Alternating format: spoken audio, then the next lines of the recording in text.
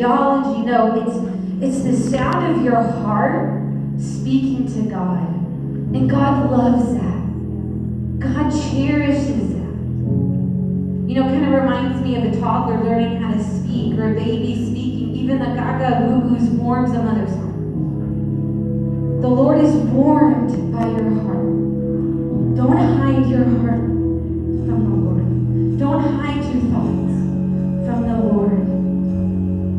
He wants to speak with you. He wants to hear your heart. So just know